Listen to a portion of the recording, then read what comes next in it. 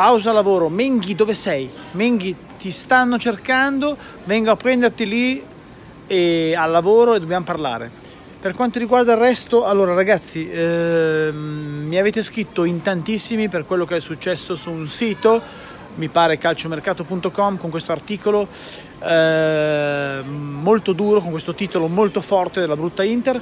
Io eh, cercherò di dirvi la mia e cercherò chiaramente, come sempre, di eh, difenderla, ma di capire, devi sempre entrare nella testa di chi come, mi pare si chiami Cerruti, non ho capito se è uno vecchio della Gazzetta, ma non è uno inesperto. Eh, cerchiamo di capire come mai ha fatto questo titolo, perché poi in realtà se leggete le, le, le pagelle sotto sono altissime. Probabilmente ha usato un termine sbagliato, potevo usare cinico, ma mh, mm, sto approfondendo la cosa e cerchiamo un po' di capire che cosa è successo. Calciomercato è un sito della Madonna che tra l'altro mi piace un sacco, un sacco e non credo, non rientra assolutamente nei siti anti-interisti. Ve lo garantisco, anzi, eh, io ho molti amici, vi, vi, ve lo garantisco. Guarda, anzi, vi dico anche delle cose Mm, sono molto amici anche dell'ambiente Inter. No, no, si vede che qualcuno ha visto una partita, vabbè, poi ve lo dico nei particolari appena ho qualche news in più, ma evidentemente la partita è un po' come l'ha vista un mio carissimo amico caro Andre, che saluto. Ciao caro Andre e l'ha vista probabilmente come l'ha vista Ceruti, Ceruti con due R o una R, non lo so, comunque come l'ha vista? Ha visto un Inter che eh, io premetto che non sono d'accordo né sull'aggettivo né sul fatto che sia sia stata brutta. Io penso che ci siano state tre occasioni da una parte, tre, quattro dall'altra e la partita si sia risolta lì. Però portare la partita, giocarla in quel modo, secondo me è stata una grandissima vittoria di Conte calcolando le assenze. Quindi eh, se non va bene quando giochiamo, è chiaro che a Barcellona abbiamo fatto i numeri e abbiamo giocato in maniera splendida, però calcolando eh, tutta una serie di cose, la partita è stata um, un po' seduta e a tratti um, un pochino sul insomma dai questo giro palla a me fa girare le palle poi è chiaro che trovi l'imbucata, però cerchiamo di capire, vediamo un po' di approfondire. Ho ricevuto tutte le vostre segnalazioni e sapete che se posso nel mio piccolo porto avanti sempre la difesa dell'Inter. Vorrei capire, mi piacerebbe poter parlare con queste persone, mi piacerebbe fargli dei quesiti e capire esattamente come l'ha vista. L'articolo l'ho letto, vi tengo aggiornati. Poi calciomercato. Ehm, Prima ho parlato con Dario Calbi, lui parlava di Muller e arrivano altre conferme di Muller, anzi arrivano conferme soprattutto dai giornali tedeschi, ho chiamato un mio amico in Germania che lavora là, non è Mario Inter che saluto, ciao Mario, e è proprio uno che lavora là e conosce benissimo il calcio e mi ha come Christos che saluto, che lui invece è l'inviato da Londra, anzi Christos facciamo un video. Eh, Menghi ti sto cercando, Menghi ti vengo a prendere perché mi devi rispondere su Barella perché ti stanno, a parte che ti vogliono perché ti vogliono bene, ma su Barella dobbiamo parlare, non solo su quello, voglio sapere se eh, credi eh, che l'Inter abbia fatto il grande passo ieri. Poi volevo, stavo dicendo, sì, dalla Germania arrivano addirittura articoli scritti su Muller dove sembra che la fase eh, della trattativa sia avanzatissima e Muller non è tanto il centrocampista, ma è quel giocatore che può fare 170 ruoli. Qualcuno dice che è cotto, qualcuno dice che non è cotto, qualcuno dice che a 30 anni eh, è una bella testa calda. È un giocatore tutto un po' dinoccolato, un po' smagronzo, però è un giocatore che fa la differenza e poi soprattutto è abituato a giocare a certi livelli. È un campione d'Europa e del mondo, credo che insomma tanta roba, poi dipende quanti soldi vuole, perché contratto, ma non è il centrocampista, il centrocampista rimane, ripeto, credo Tonali per giugno e per gennaio io credo a Vidal, perché l'uscita di Vidal combacia con, anche se l'Inter secondo me su Vidal, vabbè.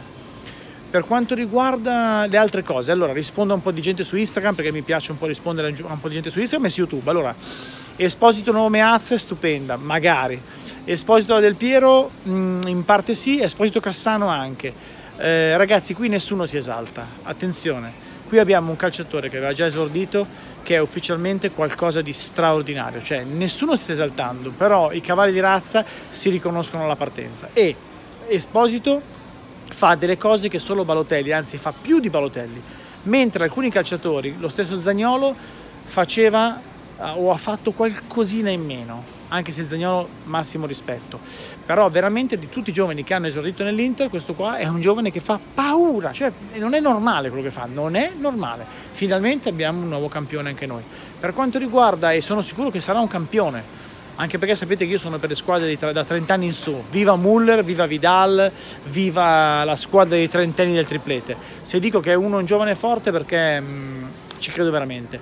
Poi mi avete detto che Lukaku giocherebbe meglio con una, con una seconda punta vera tipo Politano Sanchez. È vero, Lukaku con Sanchez eh, potrebbe spaccare. Sono sicuro che sono entrambe prime punte Lautaro e Lukaku. Io lo dissi prima di tutti ai eh, primi di settembre e qualcuno mi aveva anche preso per il famoso culo e invece avevo ragione io, nel senso che poi tutti hanno riportato. Questa, questa cosa me la tengo stretta, non voglio fare il figo, non dico ve l'avevo detto. Questa cosa me la tengo stretta perché ho fatto un'analisi dove ho detto sono due prime punte e moriranno, nel senso buono, cioè vivranno da prime punte. E così è.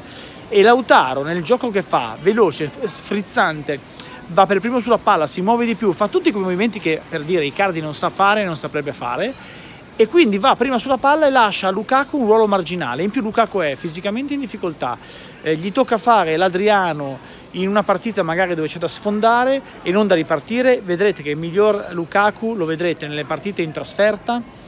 Guarda caso lui segna in trasferta, ascoltate quando vi racconto le cose, perché poi voi date a me e io do a voi e questa è la bellezza del nostro rapporto. Io mi ricordo cosa mi avete detto e voi ricordatevi le mie cose.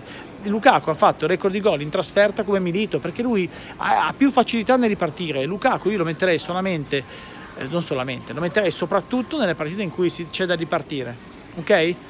Io per esempio partirei un domani col Barcellona, ci fosse Sanchez, con Lautaro Sanchez, ma se andiamo sotto metterei Lukaku No, scusatemi, se andiamo sopra, metti che vinciamo, io poi metterei Lukaku alla fine per andare a fare il secondo, dico una cosa così. Poi per quanto riguarda altre cose, cos'è che mi avete detto di interessante, che mi avete scritto? No, beh, gli argomenti erano il Menghi, calciomercato, Muller, Vidal, Esposito. Mm, sì, erano questi. Bene, dai, io vado a caccia del Menghi e e cerco di informarmi sul discorso calciomercato.com, insomma, ok? Fatemi sapere un po' che cosa ne pensate. Eh, perché l'articolo dentro è il, è il, titolo che è brutto perché l'articolo dentro se guardate le pagelle non è così e poi ripeto se posso spezzare una lancia su calciomercato.com è un uh, sito che assolutamente non è, non è pro Inter non è neanche mai stato un, un sito anti Inter ve lo garantisco perché conosco delle persone e figuratevi, se no avrei già fatto, avrei già fatto le bandiere per sventolare l'ennesima così, posizione anti-Inter. Qui secondo me c'è questa visione, è una visione che ha avuto anche il caro Andre, nel senso che qualcuno ha visto in questa partita un qualcosa che non era vicino, siccome ci fanno due palle così col sarrismo e il guardiolismo, eh, certo non è stata Paris Saint Germain Bruges 5-0, ma non è stata neanche, cioè se devo preferire una partita tra Slavia Praga-Barcellona 2-1 con quel gollonzo di Suarez e la metodologia con la quale l'Inter, senza parecchi titolari, con in campo calciatori che giocavano con, eh, non so, con Pioli, se penso a come l'Inter è riuscito a portare a casa questa partita, sbagliando anche il rigore, io faccio un encomio all'Inter e quindi sono in parte d'accordo con chi in effetti si è lamentato sul titolo brutta Inter. Vado a caccia del Menghi, ok? E anche del Barone, ma soprattutto in questo caso del Menghi perché c'è da parlare di calcio. Menghi, dove sei?